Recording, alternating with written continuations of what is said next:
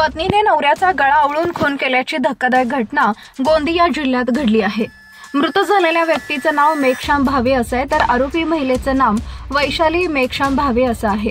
ही घटना अशी आहे की गोंदिया जिल्ह्याच्या अर्जुनी मोरगाव पोलीस स्टेशन अंतर्गत येणाऱ्या इसापूर येथील रहिवासी असलेले भावे कुटुंबीय हे अकरा जून दोन हजार चोवीसच्या रात्री जेवण करून झोपी गेले होते. पती झोपेत असताना पत्नी वैशाली हिने मेघश्याम भावेचा गळा आवळून खून केला.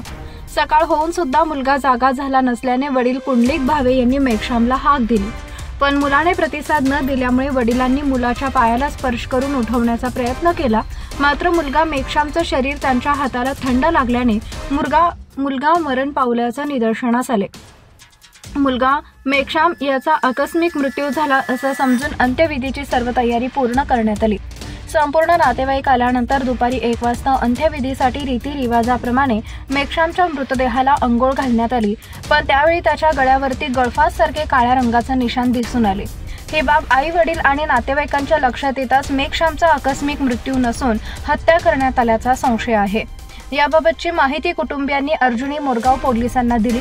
अर्जुनी मोरगाव पोलिसांनी कसलाही विलंब न करता तात्काळ इसापूर इथे जात मेघश्याम भावेंचं घर गाठून पंचनामा केला.